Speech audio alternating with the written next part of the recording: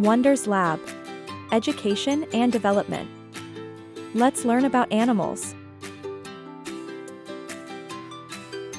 B. B is for Bandicoot. B is for Barracuda. B is for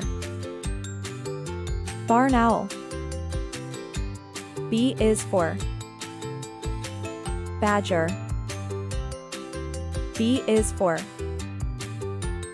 Baboon. You finished. Great job. Hope you enjoyed it.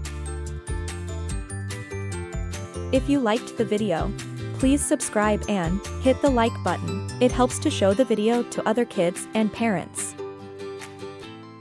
And now, the time for a big smile.